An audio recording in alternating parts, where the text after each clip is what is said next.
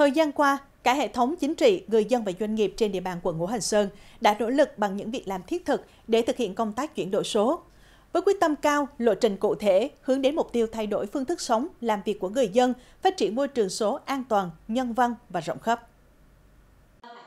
Đây là những hình ảnh ghi nhận từ hội thi tìm hiểu về chuyển đổi số năm 2023 của phường Khuê Mỹ.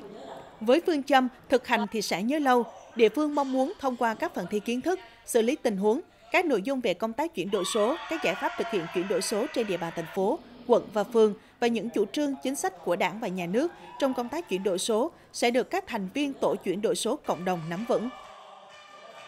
Hội thi này rất là bổ ích ờ, cho bản thân tôi cũng như những người dân ờ, đến tham dự hội thi này học hỏi kiến thức ờ, những kiến thức đạt được và truyền lại cho người dân Hàng năm, 258 tổ công nghệ số cộng đồng với 1.304 thành viên được tập huấn thường xuyên các nội dung, hướng dẫn đăng ký sử dụng tài khoản định danh điện tử, tạo lập tài khoản công dân điện tử và kho dữ liệu cá nhân trên cổng dịch vụ công, tài khoản công dân số, cách thức cập nhật thông tin và tạo hồ sơ cá nhân, chữ ký số hoặc chữ ký điện tử cá nhân, ứng dụng tương tác và xử lý phản ánh hiện trường của người dân cho chính quyền. Đồng thời, quận xây dựng kế hoạch thúc đẩy chuyển đổi số, thanh toán không dùng tiền mặt trong các trường học, cơ sở giáo dục và bệnh viện, cơ sở y tế trên địa bàn quận.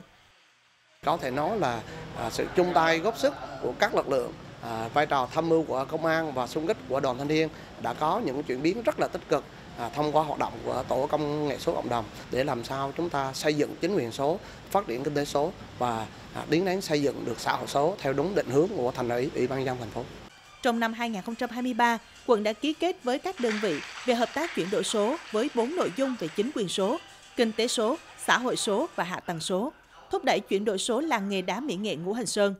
Hiện quận đang đẩy nhanh tiến độ triển khai cung cấp dữ liệu mở trên cổng dữ liệu thành phố và số hóa kết quả giải quyết thủ tục hành chính. Nỗ lực mỗi ngày trong thực hiện nhiệm vụ chuyển đổi số để mang lại những lợi ích thiết thực cho người dân.